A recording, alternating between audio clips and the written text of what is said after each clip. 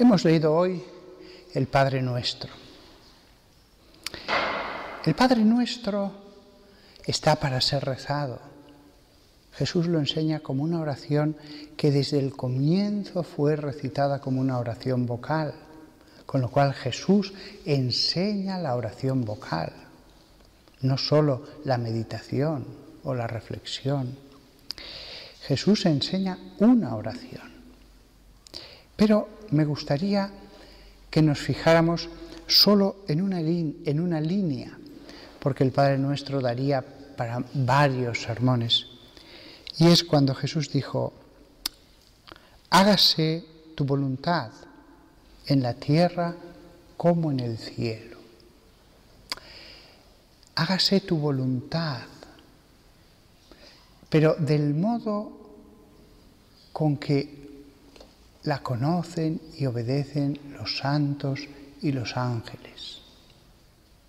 De ese modo. Esto no resulta tan sencillo, conocer la voluntad de Dios, porque nos podemos equivocar con toda la buena voluntad del mundo, con toda la buena voluntad del mundo podemos creer que algo es voluntad de Dios y no lo es. La podemos conocer imperfectamente. Podemos hacer la voluntad de Dios, pero no del todo bien.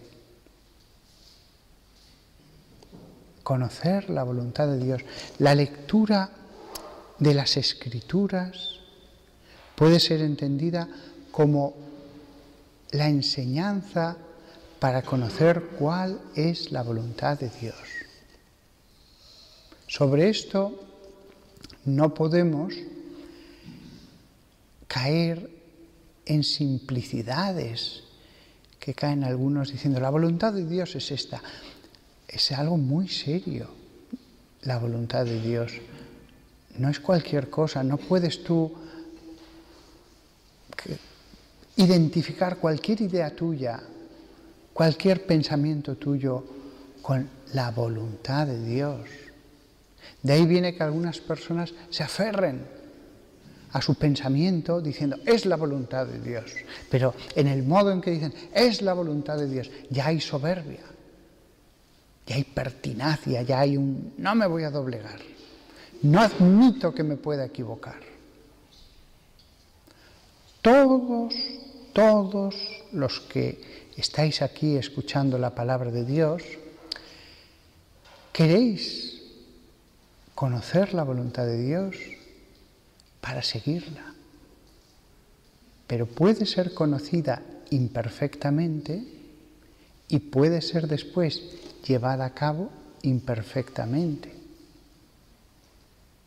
Conocer la voluntad de Dios, toda la vida escuchando a Dios, meditando sus palabras, para al final acabar intentando conocer la voluntad de Dios. No hay que ser soberbios. Todos los grandes herejes, soberbios. Todos eh, los que fueron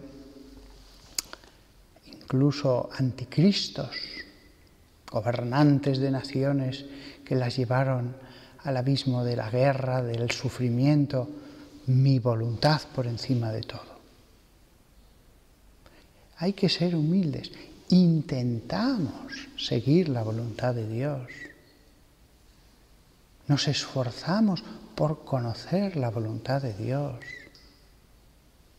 Pero ¿soy consciente de aquello en lo que me equivoco? ¿Soy consciente de lo mal que hago a veces las cosas?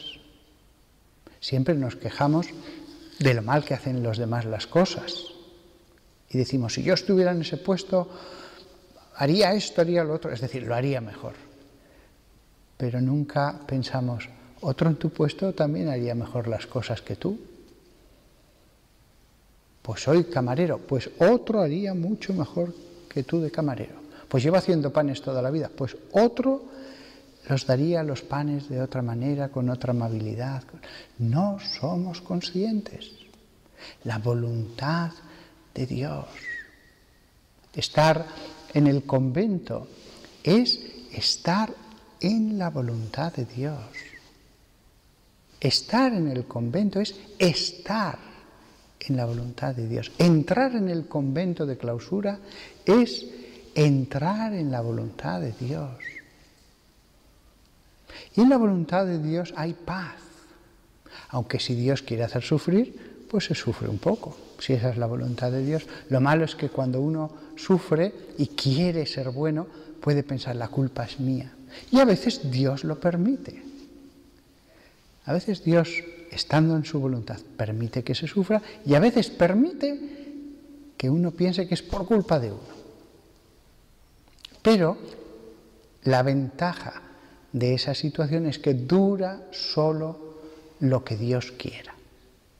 Se sufre solo en la medida que Dios quiere, incluso del modo que Dios quiere. Las personas, sobre todo del claustro, las personas consagradas, consagradas a Dios, tienen la experiencia, sufrimiento, sufrimiento, sufrimiento, y de golpe paz y consuelo. De golpe todas las tinieblas se desvanecen. El pecador no. El pecador que no solamente está fuera de la voluntad de Dios, sino a veces contra la voluntad de Dios, siempre va hundiéndose más en esa oscuridad. Fuera de la voluntad de Dios, cada vez, cada vez se hacen más densas las tinieblas, el sufrimiento, la desazón, la acritud.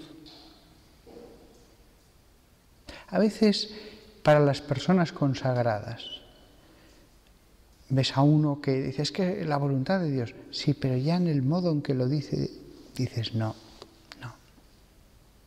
Es soberbia. Es el yo, el yo. Una cosa que da mucha seguridad de seguir la voluntad de Dios es el que uno está dispuesto a someter su voluntad, su yo. Hay que ser humildes, cautelosos, prudentes, no dejarse engañar, para saber qué es lo que Dios quiere. Y dentro de lo que Dios quiere, qué es lo mejor que Dios quiere. E incluso cuando estemos en eso, Dios nos dirá, bueno, Incluso ahora te voy a enseñar el corazón más profundo de lo que yo quiero. Y así os podría poner tantos ejemplos, tantos ejemplos, ¿eh? en, que, en que siervos de Dios, sacerdotes, religiosas, santos, pues ya está, ya ha hecho la voluntad de Dios. Y Dios daba una vuelta de rosca. Y bueno, pues tal, lo obedecía, pero daba otra vuelta de rosca. Bueno, pues venga, venga. Y ahora, ahora te he dicho que a la derecha no, pues ahora a la izquierda. Pero si todo el rato me has insistido que ni se me ocurra ir a la, izquierda, pues ahora vas a la izquierda. ¿eh? Y cuando uno va hacia la izquierda, no, no, no, ahora a la derecha. Pero si iba hacia la izquierda, que me has dicho que tenía que ir a la... No, pues ahora a la derecha. Es decir, la voluntad de Dios puede ser cambiante. Puede obedecerse, pero sin rechistar. Voy a aprender a hacer la voluntad de Dios con prontitud. Y lo que cuesta a veces, con alegría. Y con alegría de que la voluntad de Dios sea la cruz, la enfermedad, los problemas, como veis, el tema de que rezamos tan alegremente, tan rápidamente, tan sin pensarlo, hágase tu voluntad en la tierra como en el cielo. Es toda una vida cumplir esa línea, toda una vida. Porque al final está descubrir el modo en que la voluntad del Padre y del Hijo y del Espíritu Santo.